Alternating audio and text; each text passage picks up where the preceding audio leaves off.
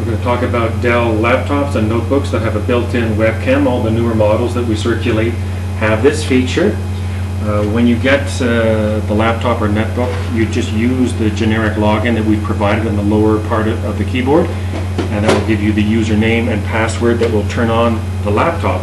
Once the laptop is open, you'll open up the Dell Webcam Central, and what that is going to do is provide you with uh, the access to the camera, which is just in the lid of the, uh, of the laptop or webcam. There's two things that this camera will do. It will snap photos, which is generally not what you want to do. What you want to do is record videos, and you're going to get a camera, a video camera icon down here.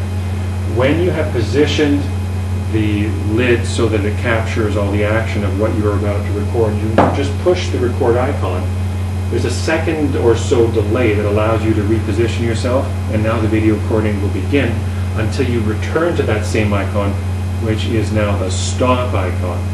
So it's going to be a cycle of record, stop, record, stop, until you have captured all the video that you want. It's not record, pause, and then start recording again. So every time you push the stop, it's going to create a separate little video segment down here. And uh, if you have a false start, then stop, and then you can just ignore this segment and start again with another one. But once you have done all the recording that you want, and it appears all down here in the lower tray, you'll open up Nero Start Smart, not Nero Express, Nero Start Smart.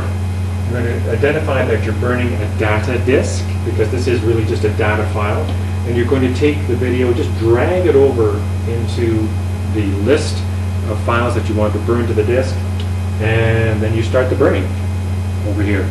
Once the disk is finished, it's actually going to automatically be sealed so you will not be able to add any more information to that disk, and it will just pop out to say that it is finished.